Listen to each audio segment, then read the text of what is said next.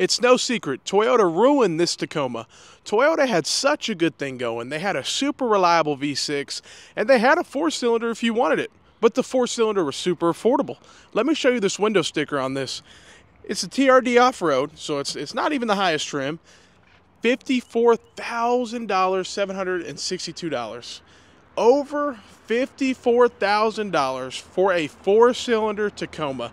Now I'll give them credit here. That is a $3,000 package that I'm, I would never pay that they added on there. So Toyota would want 51,800 after destination and everything. So a ton of money, over $51,000 for a four cylinder Tacoma. Think about that. I never thought I'd ever see that. And for Toyota not to offer a V6, they're literally shooting themselves in the foot. I just don't understand that, considering that's what the people want. That's why these are down over 60%. 60% in the first quarter. It's crazy. Sales are down big time. And I know a lot of people blame it on it being a new model and, you know, production. It takes time to get them out to dealerships and stuff. But ah, you see them right here and they're just sitting here. And Toyota, when they release a new truck or a new vehicle, even the new Camry has hype around it.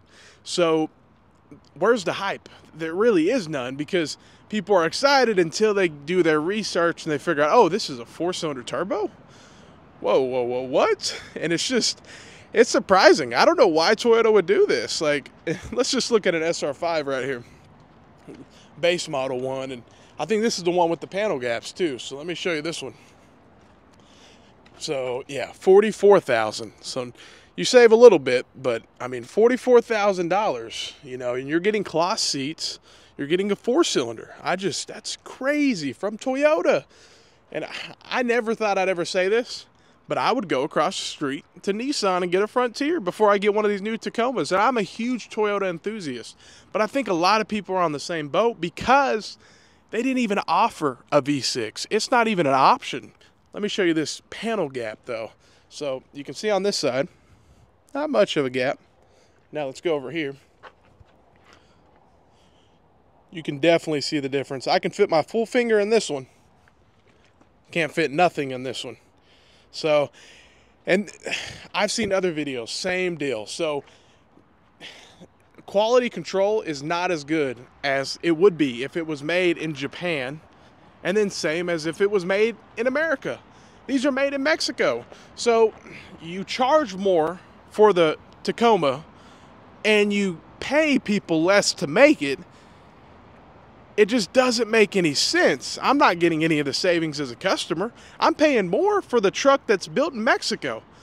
I just, it's crazy. And a lot of people don't like when I say that. I've I had quite a few comments that people said just because you pay more for labor doesn't mean you get better quality and I understand that, but I it's hard to argue that a Toyota made in Japan is not better than one made in Mexico.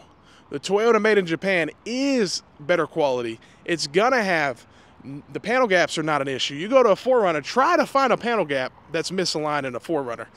I can't. I never have.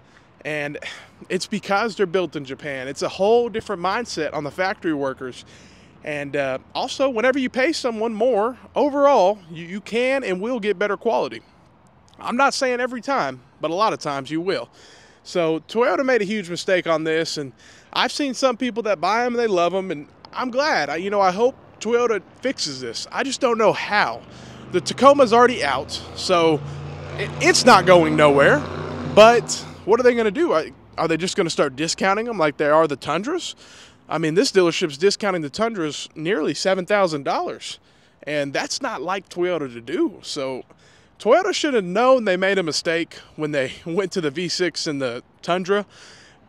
It's it you saw the issue. I mean, even though they're actually selling okay now, um, but with the huge recall that came out, we'll see how next quarter does. We'll see. But V6, you know, people don't want turbos in their trucks. They really don't. And I just think reliability wise, in the long run, where is this going to be, you know? But what else can Toyota do but discount? That's the only thing they can do at this point is to start discounting. When sales drop, what else can they do? The vehicle's already here. They're not going to change it. I would be so surprised. And this is one of the reasons I'm making the videos. You know, I've made a few of these videos. I'm going to keep beating the drum because I want Toyota to change. You know, I'm a huge Toyota fan and some some of their vehicles are okay, but they're all changing not in the best direction. Everything's getting more complicated and they had such reliable vehicles. I mean, even the, the Corolla had a 1.8 liter, super, super reliable, super simple. Now they only offer a very complicated engine. And I understand it's better fuel economy, better this and that, but uh, it's not by much. Like the V6 compared to this four cylinder turbo, not much of a difference. And whenever you calculate maintenance into that in the long run, yeah, I guarantee the V6 is going to be cheaper to maintain and own in the long run than this four cylinder turbo will be. So I just don't know why, Toyota. Such a good thing going. Why? I would love to hear the answer to that question. And now we have their other issue, their Tundras. Same situation. It's almost like they did this a few years, so they, they already know what's going to happen to these. Because here it is. They switched it up. They went to a V6 turbo, and people don't want them. They have huge recalls. Over 100,000 possible Toyota products are going to need a new engine. So that's just not like Toyota. Over a 100,000. I will give them credit. At least they're doing something. But to be honest, they're doing something because it was a safety recall. They didn't have a choice. Once it's a safety recall, there really is no choice. They have to fix it. I just really hope that doesn't happen to these Tacomas. And unfortunately, the path it's going, it's it, these are the Tacoma's bigger brothers, and literally, it's engine problem after engine problem after engine problem ever since they switched to a turbo. So I really hope that that does not happen to these Tacomas, but it kind of is what happens when you go to turbos. I mean, it's they burn oil, they do this, they do that. It's just another thing to go wrong for what? For an extra two miles per gallon?